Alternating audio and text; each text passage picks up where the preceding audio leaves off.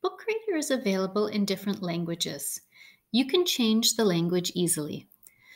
To do this, you're going to click on your avatar and select the Edit Account option.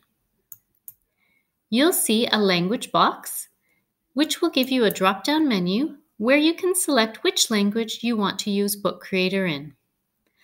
I'm going to choose French and then select Save Changes. You will notice that the headings have changed into French. You can also change the language and Read to Me. Depending on which computer you're using, it's possible to select different languages when using Read to Me. For this demonstration, I am on a Chromebook. I'm going to select the book which I would like to have read aloud, and then I'm going to choose the play icon. Next, I'm going to select the gear wheel for the settings. And when I scroll down, I will see an option for voices. I'm going to change that to French and select the first one. Chrome OS Français 1. It will give me a preview.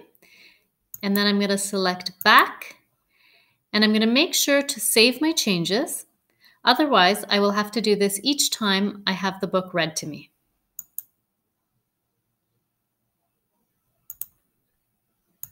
Changer la langue dans Book Creator. Salut, je suis votre voix de synthèse vocale. Vous avez atteint la fin du livre.